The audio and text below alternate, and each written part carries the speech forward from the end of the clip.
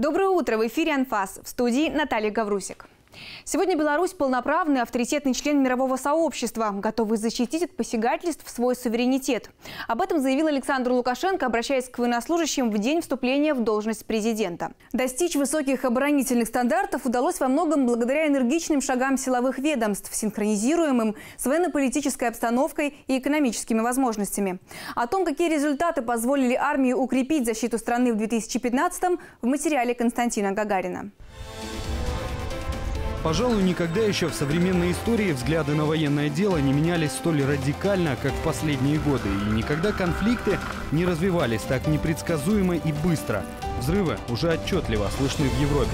Не случайно тема военной безопасности в Беларуси обсуждается на самом высоком уровне. Буквально в течение месяца глава государства посетил 120-ю механизированную бригаду, объект оборонной промышленности и принял участие в работе оперативного сбора вооруженных сил. Сегодня мы с вами являемся очевидцами геополитических процессов передела сфер влияния, которые неизбежно ведут к трансформации сложившейся системы международной безопасности. Под фальшивыми лозунгами об угрозах мировому сообществу и надуманными предлогами для насаждения демократии уничтожены Ирак и Ливия. Северная Африка, Ближний Восток погружены в хаос – Тревожные сигналы раздаются непосредственно у наших границ. И нужно быть готовым к соответствующему реагированию на новые вызовы и угрозы. На решение этой задачи был направлен весь армейский учебный год. В войсках проведен ряд экспериментальных маневров. В ряду этапных событий высадка десанта на Северном полюсе, формирование подразделения территориальных войск на Гомельщине, участие в международных армейских играх, первая посадка на аэродромный участок дороги военно-транспортного самолета. В комплексе все несущие конструкции безопасности проверены белорусско-российским учением «Щит Союза 2015». Мы обеспечиваем не только свой суверенитет, но и тесно взаимодействуем, особенно в формате союзного государства. К концу года у нас запланировано рассмотрение нового плана применения региональной группировки войск на Высшем Госсовете. 2015 стал, пожалуй, наиболее насыщенным годом в подготовке силовой компоненты Организации договора о коллективной безопасности. В активе внезапная проверка коллективных сил оперативного реагирования ОДКБ в Таджикистане, масштабное учение взаимодействия в Псковской области, маневры миротворцев в Армении. Наличие союзников и дружественных стран-партнеров для нас является важным фактором обеспечения военной безопасности – Именно поэтому Беларусь рассматривает свое участие в таких межгосударственных структурах как действенный фактор сдерживания в военной сфере. Однако работа механизма коллективной защиты должна выстраиваться с учетом наших национальных интересов. Продолжается поставка в войска новых образцов вооружений. В 2015-м армейский строй пополнили учебно-боевые самолеты Як-130. В следующем году на вооружение поступит реактивная система залпового огня «Полонез». Образец уже испытан в Китае, где поразил цель на дальности 200 километров. На заводе точной электромеханики, где налаживается производство ракет для этого комплекса, президент обозначил суть оборонной стратегии страны. У нас э, сегодня завтра тоже. Исключительно оборонная стратегия. Суть ее состоит в том, чтобы противник задумался, прежде чем вести против нас войну или же создавать какой-то конфликт. Мы должны нанести ему неприемлемый ущерб. И это исключительно оборонительная тактика. Ни один современный конфликт не начинался вторжением армии на территорию того или иного государства. Сценарий противоборства один и тот же – развалить государство изнутри. Поэтому одна из ключевых задач армии – сплочение общества, формирование патриотического сознания. Должно быть некое общее настроение в рамках общества, банально от семьи, от школы должно исходить, но, безусловно, и в самих э, рядах вооруженных сил нужно поддерживать соответствующую атмосферу. Формирование готовности и личной причастности каждого гражданина защитить свое Отечество, неважно в какой сфере он осуществляет свою деятельность, был готов всегда, внутренне готов защитить национальные интересы своей страны, своего государства. Очередной этап подготовки вооруженных сил завершен. Эксперты приступили к обработке результатов, однако главный из них совершенно очевиден. Все компоненты системы безопасности поддерживаются в состоянии, которое позволяет гибко реагировать на новые вызовы. Эту мысль Александр Лукашенко подчеркнул, выступая в день инаугурации перед представителями белорусской армии. Вместе мы уже сделали очень много на сложном пути государственного становления и развития. Все эти годы национальная система обеспечения безопасности была гарантом защиты мирного труда белорусского народа от любых угроз. Уверен, что под вашей надежной защитой, нашей защитой,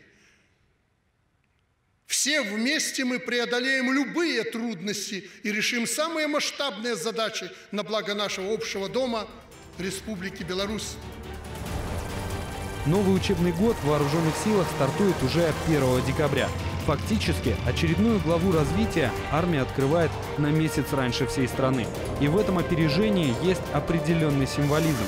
В наши дни и экономика, и политика, и суверенитет начинаются именно с безопасности. В эфире «Анфас». Новости столичного гарнизона продолжат программу. В соответствии с указом президента Республики Беларусь командованию сил специальных операций вручено боевое знамя. Церемония прошла в Музее истории Великой Отечественной войны в зале воинской славы. От имени главы государства знамя десантникам передал министр обороны Андрей Равков получением боевого знамени мы завершаем процесс создания командования как такового, как полноценного органа управления. И это будет являться, ну, наверное, знаково, для любого соединения, воинской части, объединения. Боевое знамя – это основной атрибут, которым и характеризуется часть. В ближайшее время военно-воздушные силы и войска противовоздушной обороны Беларуси примут на вооружение вертолеты Ми-8 МТВ-5 и очередную партию учебно-боевых самолетов Як-130. Новой техникой пополнятся и зенитные ракетные соединения. Очередная батарея ТОР э, придет на вооружение э, в одну из наших частей. Э, мы в ближайшее время получаем уже еще 4 зенитных ракетных дивизиона из Российской Федерации С-300. Военные факультеты и кафедры гражданских вузов вступили в борьбу за звание лучшего в деле подготовки кадров для вооруженных сил. В ходе смотра конкурса, проводимого Министерством обороны, специальная комиссия оценивает уровень учебно-методической и научной работы, состояние материально-технической базы и перспективы ее развития. Почетные трофеи привез из Москвы образцово-показательный оркестр вооруженных сил. Заслуженный коллектив блистательно выступил на восьмом фестивале военных оркестров «Спасская башня».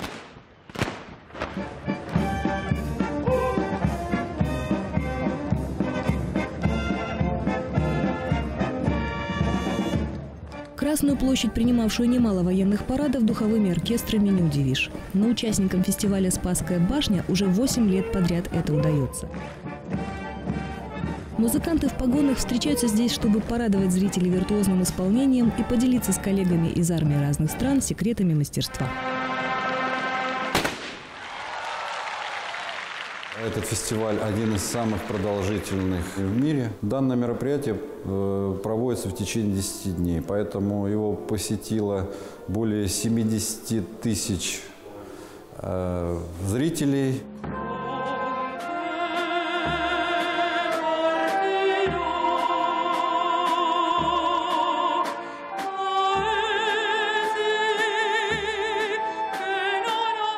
Нынешний праздник музыки собрал представителей 14 стран.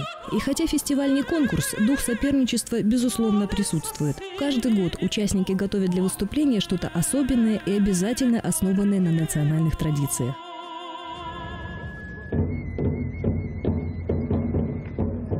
Праздник фонарей привез на Спасскую башню японский фольклорный коллектив Канто Мацури. Над Красной площадью прошествовали королевские ходулисты из Бельгии. Красной площади образцово-показательный оркестр Вооруженных сил Беларуси.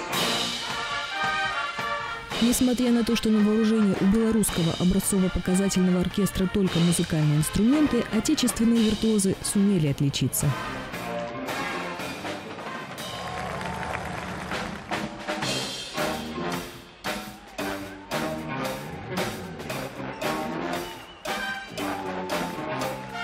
Оригинальная находка дирижера Максима Кочеткова – элементы флешмоба, элегантно вписанные в канву выступления.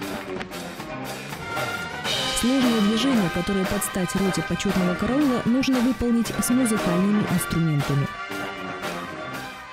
Мы попытались использовать элемент э, внедрения пиротехнических средств в наше шоу. Но это не просто какая-то пиротехника, которая параллельно сопровождала наше выступление. Да?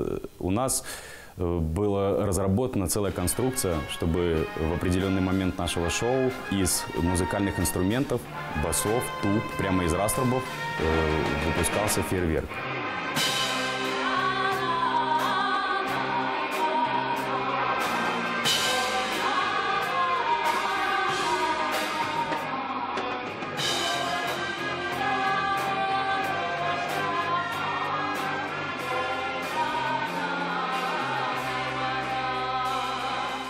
Очень хотелось э, выглядеть на фоне остальных коллективов достойно.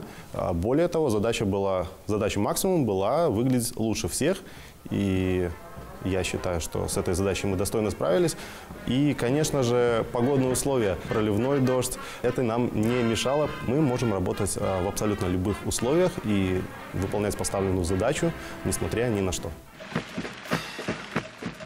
Говорят, смелость города берет, а помноженное на талант и усердие завоевывает сердца. После финальных аккордов фестиваля белорусские военные музыканты стали обладателями симпатии миллионов зрителей во всем мире.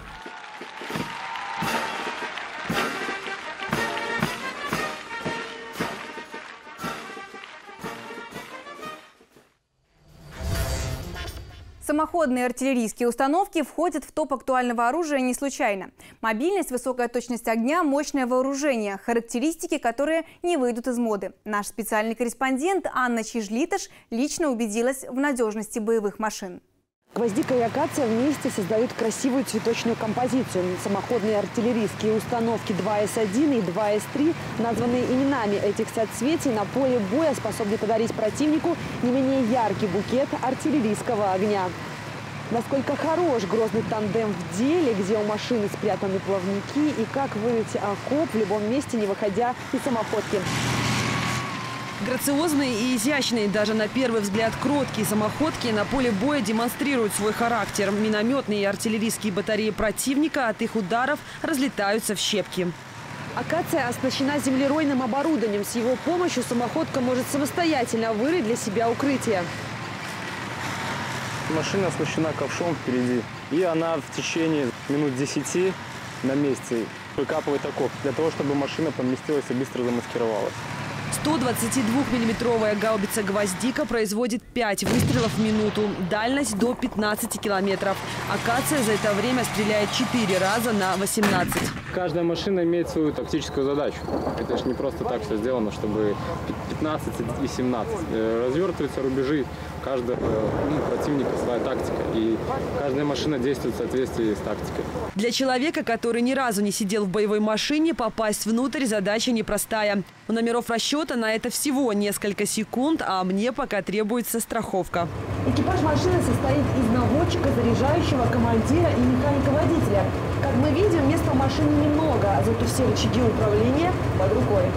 Кация – младшая сестра Гвоздики. Разница в возрасте всего год. По характеру они схожи, но у каждой свои достоинства. Гвоздика имеет герметичный корпус и может легко преодолевать любые водные преграды. И подготовка занимает 5-10 минут. В роли плавников выступает гусеничный движитель. Она закупоривается, машина вся, все люки закрываются. Угу. Все отверстия, которые могут быть снизу, поддонов, все закупоривается специальными болтами. Открываются люки и машина входит прямо на плав. Грохот залпов, рев моторов, лязг гусениц и дымовая завеса. Боевые подруги на поле боя дают настоящий рок-концерт, засыпая противника тяжелым металлом. Военные утверждают, что дуэт еще долгие годы будет занимать верхние строчки армейского хит-парада, совмещая эффективность и зрелищность.